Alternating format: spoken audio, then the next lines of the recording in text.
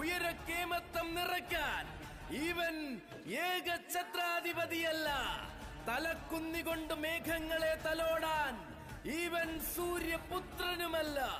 നിലവ് നിന്നടി വാങ്ങുന്ന ഹിമവാനുമല്ല ശരീരം കൊണ്ട് വെല്ലുവിളിക്കാൻ ഭീമനുമല്ല. വാശിയുടെ വമ്പ് കാട്ടാൻ വില്ലന്റെ പരിവേഷവും ഇവനില്ല. അതെ അഴകാണിവൻ. ഇവൻ ആനച്ചന്തത്തിന്റെ ആറാം തമ്പുരാനാണിവൻ. സാക്ഷാൽ അഴകിയ രാവണൻ. വിശ്വം കീഴടക്കാൻ പോന്ന വശ്യമായ സൗന്ദര്യം വരമായി കിട്ടിയ വിശ്വസുന്ദരൻ.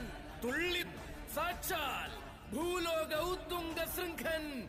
സൂര്യ തേജസ് ഗജവീര്യ സൂര്യ ശ്രേഷ്ഠാധിപതി പാമ്പാടി രാജൻ.